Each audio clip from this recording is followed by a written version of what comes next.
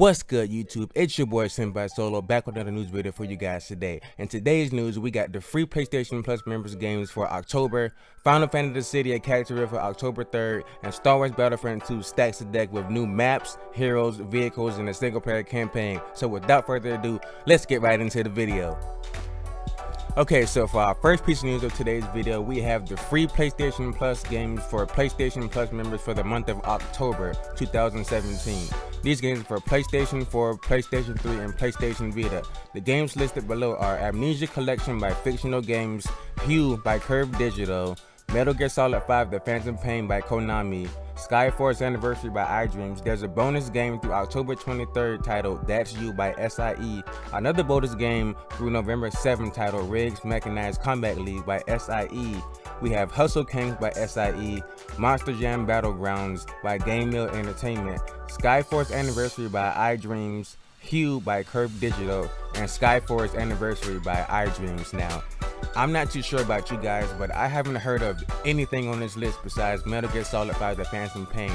Never really played it when it came out years ago for the PlayStation 4.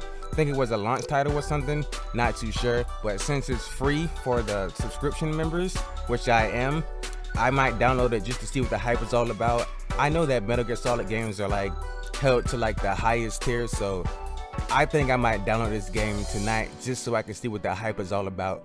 Let me know what you guys are going to be downloading from this list of games that I just listed for the PlayStation Plus free members games that are coming out October 2017.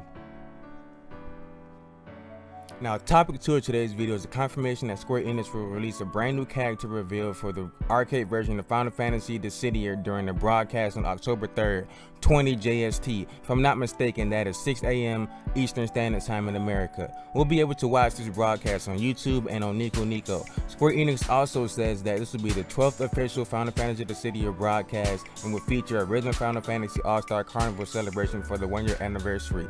Let me know who you guys think will be revealed for this brand new character reveal for Final Fantasy Dissidia down below in the comments. And also, let me know what your favorite Final Fantasy video game is of all time. For me personally, it's Final Fantasy 14 because that's the one that I got into the series with. My friends got me into it. I love it really much. It's a MMO RPG. I love the gameplay, the story. Haven't really gotten that far in it, but I will beat it eventually. And I just want to know who you guys think is going to be revealed for this brand new character reveal for Final Fantasy Dissidia, October 3rd, 20 JST, 6 a.m. American time.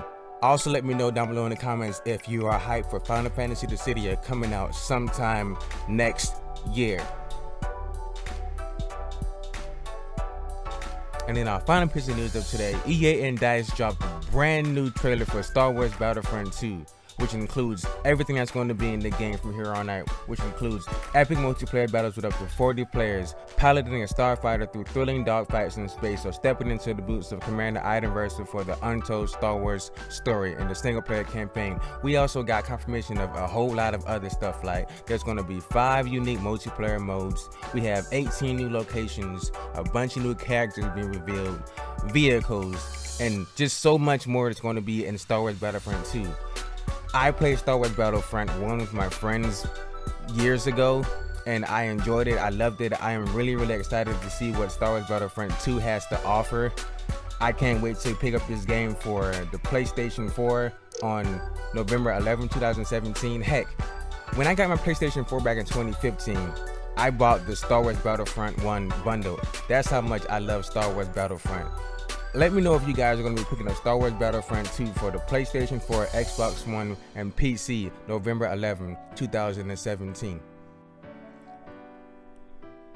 And that's all the news I have for you guys today. As always, make sure to let me know what I can improve on so I get the news out to you guys in a better fashion.